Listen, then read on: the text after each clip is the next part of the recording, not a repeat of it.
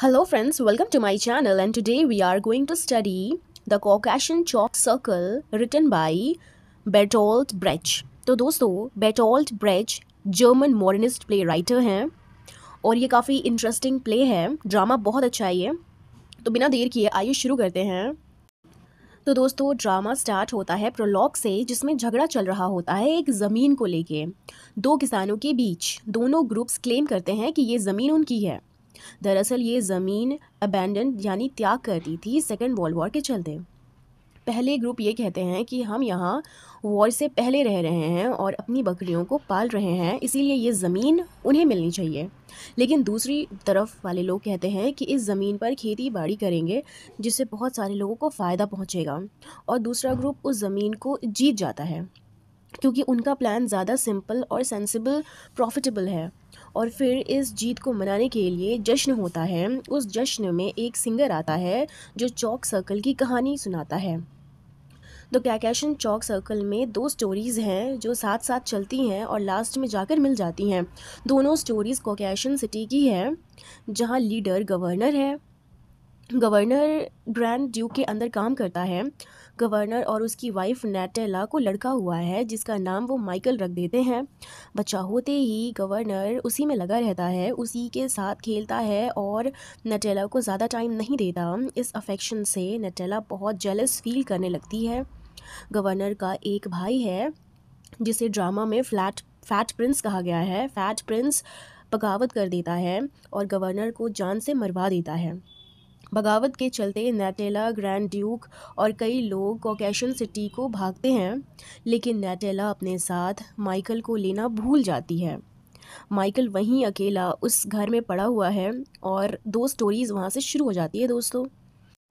पहली स्टोरी है story of ग्रूशा जो कि ग्रूशा एक सिंपल किचन मेड है, जिसकी इंगेजमेंट साइमन से हुई है। साइमन एक सोल्जर है। बगावत के समय ग्रूशा को माइकल मिलता है, वो कसम खाती है कि उस बच्चे को बचाएगी वो फैट प्रिंस से।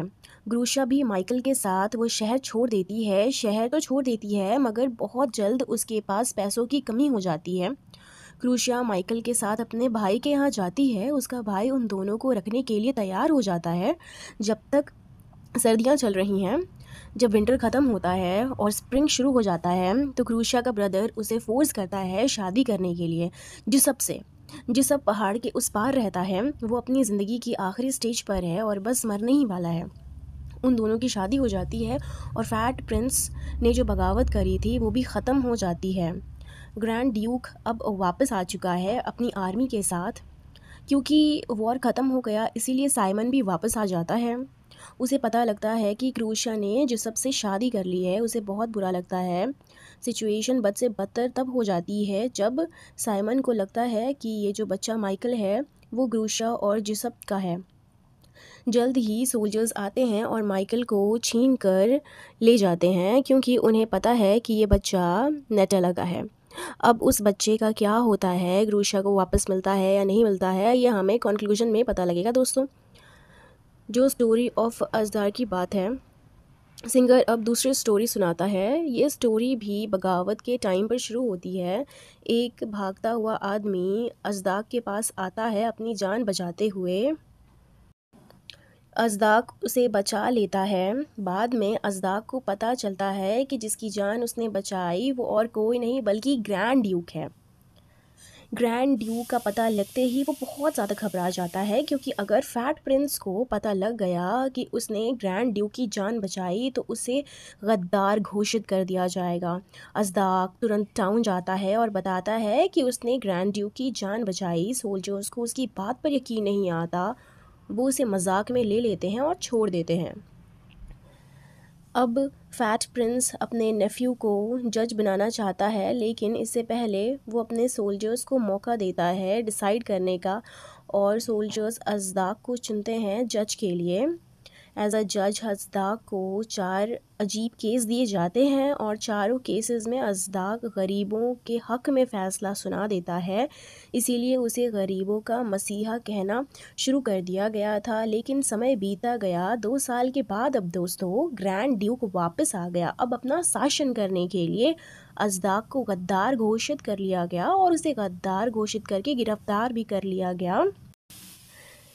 वो अजदा को मारना चाहते हैं, लेकिन ग्रैंड ड्यूक आ जाते हैं और उसे बचा लेते हैं, क्योंकि उसे अजदाक का किया हुआ वो एहसान याद है। अजदाक को फिर से जज बना दिया जाता है।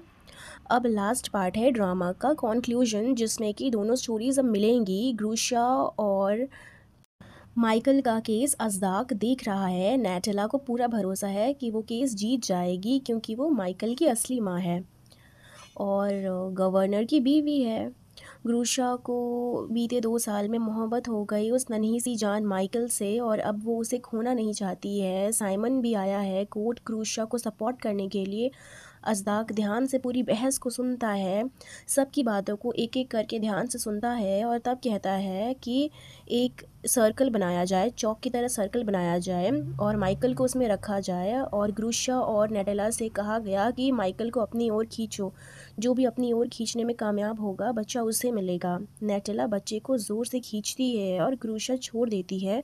अजदाक उनसे दोबारा खींचने को कहता है तो दोबारा नटेला ज़ोर से खींचती है और ग्रूशा छोड़ देती है।